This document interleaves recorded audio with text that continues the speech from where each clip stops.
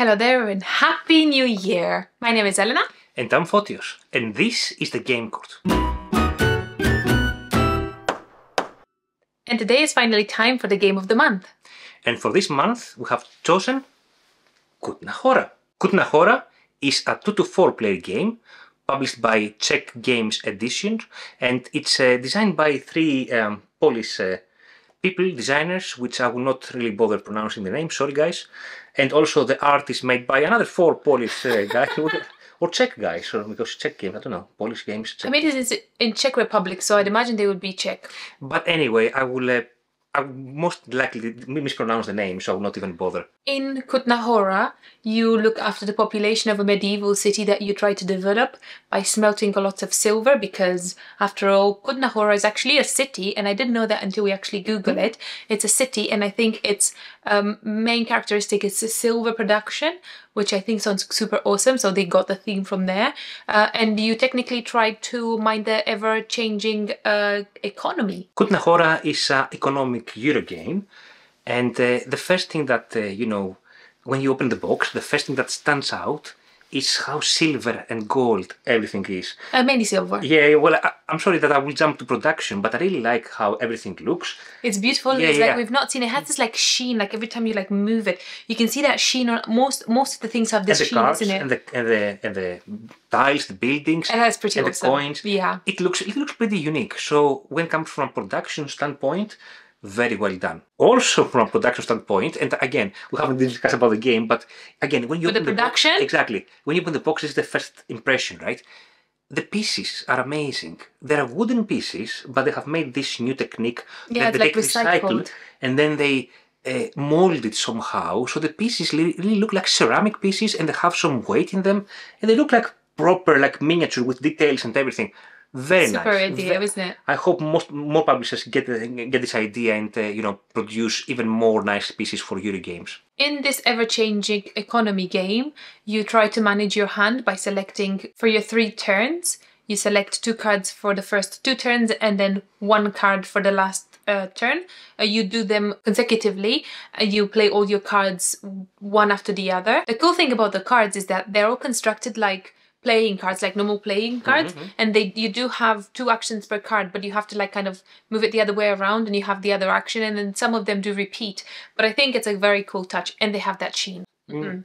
and the actions themselves are quite uh, straightforward like have the rights action where you get a new let's say blueprint of a building i would mm-hmm. say then you have the plot action where you reserve a space where you're going to deploy or build your building you of course have the build action you have the mine action where you put excavate your mine or whatever you put a mine out. Yeah. Um, we have the income action, which is very important because with the income action you get more money. And then you have the action of uh, contributing to the building of St. Barbara. Also, there is a Joker action as well. Mm-hmm. Mm-hmm. Please don't forget the action if you do mention yes, them. Yes. So there's a Joker action that you can use, but you do have to lose one reputation, and it does not cost anything if you're higher up the reputation track. Mm-hmm. If you obviously do go down, you have to stop paying. But if you don't, then you don't. You have to pay one reputation. Yes. Yeah, and Joker is quite important because one of the most important aspects of this game is that you manage your hand very well, because each action I think presents twice, apart from the Saint Barbara action. But the way you, you you play your actions, you play a card, you do one action, you lose the other action. So you have to be careful how you what you want it. to lose first. Exactly. Yeah. This is super awesome game offers you something that we've not seen so far in any other game, as in you only have one resource, which is money. I mean, we have seen some different things, like for example in Firenze, mm-hmm. we saw you could use the towers and the tower blocks as an exchange for everything. For everything, yes. But I think in an economic game we've not seen it before, um, and is in this game you only have money as a, your currency and as your resources, and what you do is whatever you want to buy, you have to buy at the price that the market offers at that mm. point, and everything is just money in money out kind of situation, which I think is awesome. So you don't have to spend actions to get resources, like to get wood or whatever.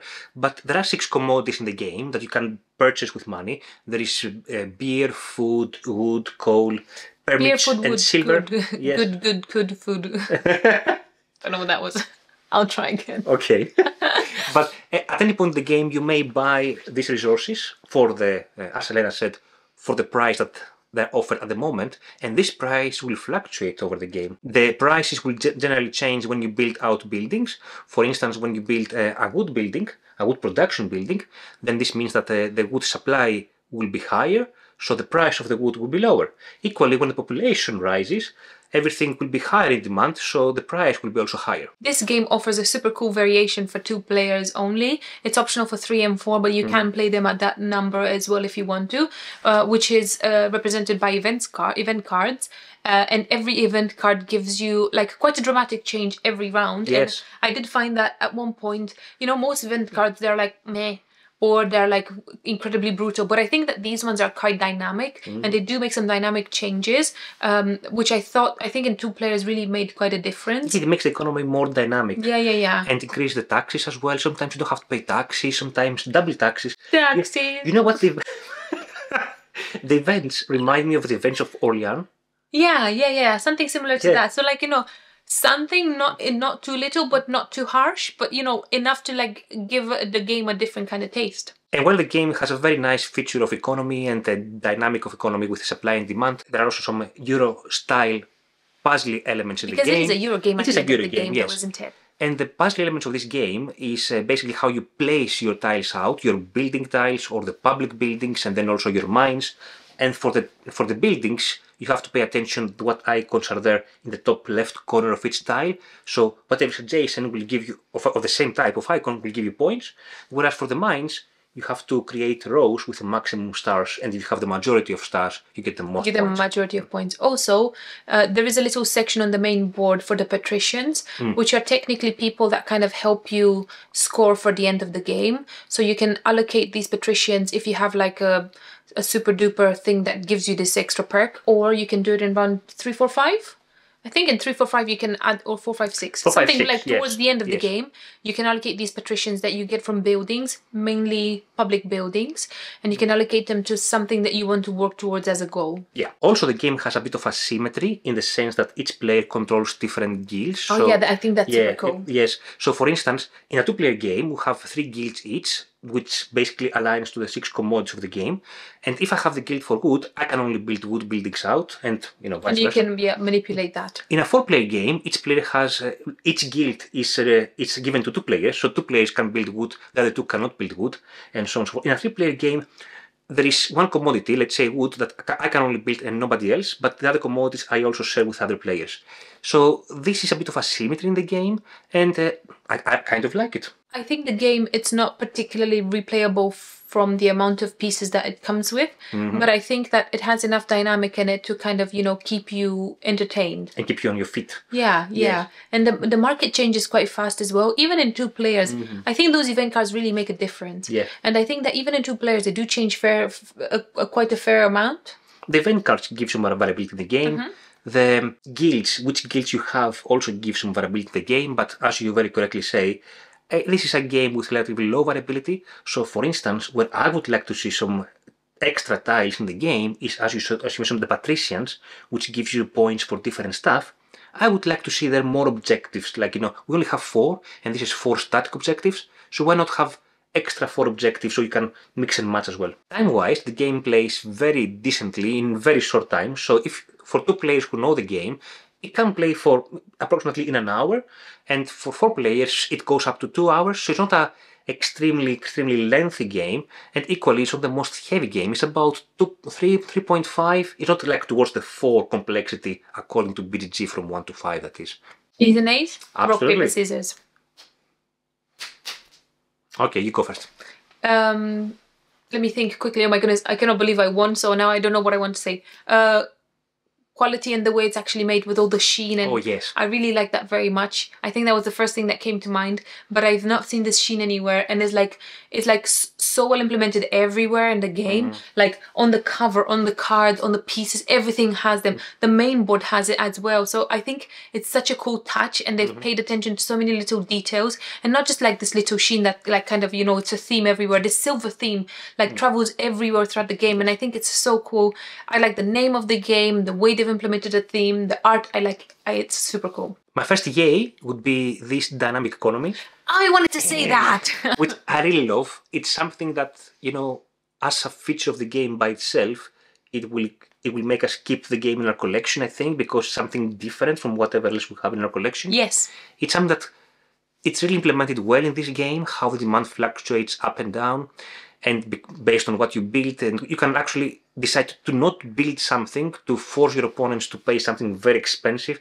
It's pretty cool how it works. I really liked. Another yay from my side, again follows uh, Elena's production, is this, as I, as I mentioned before, these wooden uh, pieces of the game which are very nice and very nice colors. Red is missing, but anyway, I know yellow is missing as well. Yeah, there is some, some Some like it's like, Like yellow- yellow- It's not really green. I, I use mint in this game because I purple is reserved for my friend Reese. For Reese, everybody knows who Reese is now. It's on his video. It's like Yes, it- there somewhere. My nay, no. My yay. I'm going to Again. it. My yay, and I'm quite impressed with the length of play actually Mm-hmm. for how long this game technically is and the complexity of it. And you know, you do so many things in the game and the satisfaction that it gives you at the end of the day, really. I think an hour is impressive. and also, I like the another yay that is. I like uh, the card play of the game. That is super cool, It- isn't it- it is very nice, It's yeah, very yeah. different. Like it's obviously borrowed from normal cards, but isn't Yes. that amazing? I really, I really like. and it. how they have two actions on each card. You have to very, very carefully plan your actions until the end of your turn because you only take your cards at the end of your turn, of the end of the round, that is. Mm-hmm. So yeah, it it's very nice. It's a very nice aspect. Even if you know, some people would say that they would like to see like a card market to let's say to buy cards to make your actions as the game progresses more uh, stronger and more impressive. Like as in other games, right? Like you- buy some cards to I think that's a very good point, but I don't think I've seen the need. I've had the need when we played to actually pump up my actions because I feel that the actions are very straightforward, and unless you do like combination of actions, I think the actions are very good as they are. I don't think. I don't think they need any pumping because they're very simple. They're very straightforward, very simple.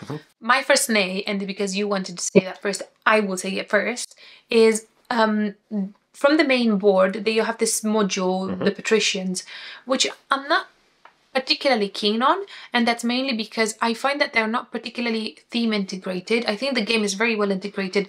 I like the mm-hmm. way you produce everything you produce, and they're all linked to the city. You build the city, you mm-hmm. build mines to excavate the silver and all of that. So I think that's all super duper. But then the patricians are there literally just to give you points for the end of the game and to work towards a goal, which I can see some stuff, but I think it's a bit too Yuri for my game and it's a bit too bland. Um, so I don't really like that. I didn't really pay attention to it, but it just happened that at the end I got a lot of points from it. But it's not my cup of tea. I don't like it. What I don't like about it is that you have to pay 10 coins to deploy the patrician and that, that you do it when you take your income. And it can be the case that you deploy a patrician and you know everybody then goes to score that patrician. So basically your extra the extra points you are gaining are very minimal in that sense. Um, make me understand. Isn't it deploying the patricians 10 money only if you do it earlier? It's always 10 money. It's always 10 money. I thought it's only early. But if you do it early, you can score them up to three times, like in a two player game. Okay. Whereas if you do oh, it so you still have to later. pay 10 towards. Correct. Ah, oh well. But uh, equally, it's not that many points. An A from my side is that uh, the game doesn't come with a solo mode, and most of the games nowadays comes come with solo mode. And it would be, you know, nice to have it, not necessary. But usually, whenever we like a game, both of us we usually play together. So I don't need solo mode for myself. But there are many many players who play out, out there who play only solo, and it's a good game to experience.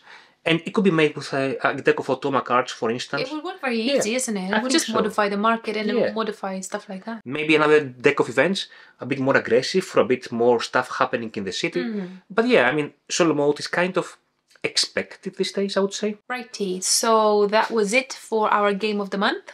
We hope you enjoyed our video and thank you so much for watching. See you later. Bye.